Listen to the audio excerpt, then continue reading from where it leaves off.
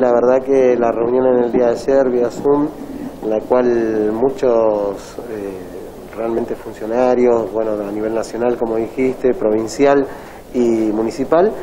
pidiéndoles esta, esta apertura que necesitamos los, los gastronómicos, los hoteles, en la cual realmente el mensaje de la viceministra eh, de la Nación, la verdad que fue para nosotros positivo, el decir que que esperábamos eh, muy pronto el tema de la apertura de los vuelos, el tema de, lo que es el turismo, llegar a Ushuaia, eso también lo vemos muy positivo para, para los hoteles. Pero bueno, necesitamos la urgencia esta de volver, volver a abrir las puertas de gastronómicos, que bueno, en, en charlas con el gobernador nos pidió un par de días en la cual confiamos que va a ser pronto y que bueno, que va a ser para justamente, como dijo,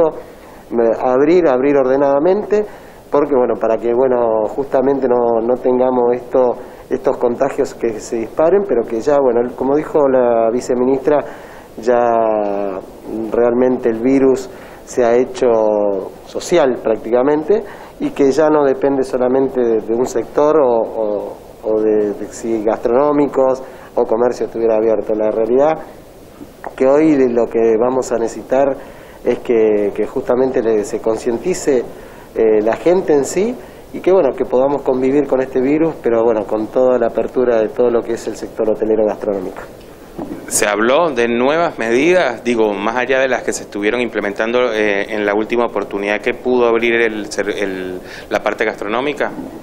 Sí, la, la, realidad que lo que buscábamos una mesa de diálogo en la cual empecemos con nuevas medidas de capacitación, en la cual la propuesta del sindicato es eh, justamente capacitar no solo al trabajador hotelero gastronómico con el tema de protocolo, sino a la sociedad en sí, llevarle el mensaje mucho más fuerte, en la cual, bueno, también sea con controles, no que sea con cierres ni, ni nada por el estilo, sino con controles en los lugares, que no solo el control sea para el propietario del establecimiento o al trabajador, sino también para el mismo comensal, en la cual se empiecen a respetar eh, estos protocolos y bueno, que la gente a medida que vaya pasando el tiempo ya lo agarre como un hábito, como el ejemplo que le llevamos de cuando fue la campaña de que no se podía fumar en lugares públicos. Bueno, hoy hay cosas que hay que empezar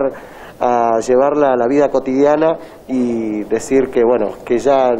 hay cosas que vinieron para quedarse, como el barbijo, como el alcohol en gel, como el distanciamiento, y cosas que tal vez se pierdan de lo que es la vida cotidiana, como de tal vez de salir a bailar a un boliche, ya eso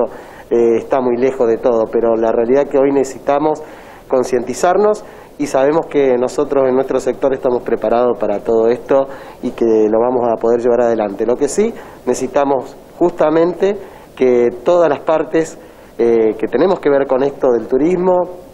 y todos los responsables, eh, también políticamente, también nos pongamos a trabajar para que justamente podamos establecer en la sociedad estas nuevas formas de vida y que bueno, que empecemos a respetar todos los protocolos.